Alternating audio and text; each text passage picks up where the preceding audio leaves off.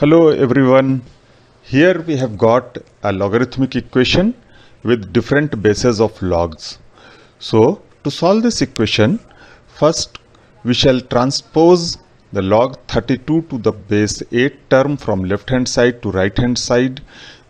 Now isolating the variable term on the left hand side.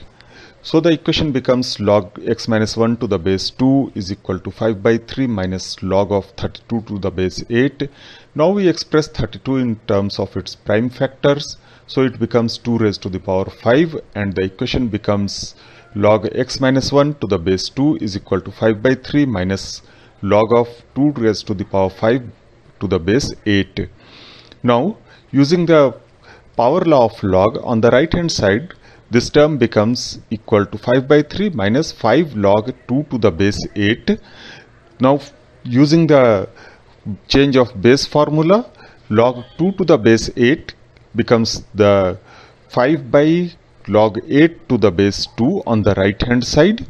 Again 8 is represented as 2 cube on the right hand side making it as 5 by log 2 cube by 2 cube to the base 2 Again we use the power law of log to get the equation as log of x minus 1 to the base 2 is equal to 5 by 3 minus 5 by 3 log 2 to the base 2.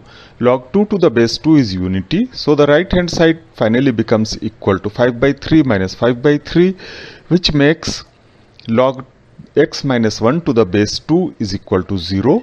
Using the definition of log x minus 1 becomes equal to 2 raised to the power 0 or x minus 1 is equal to 1 which gives us the value of x as equal to 2.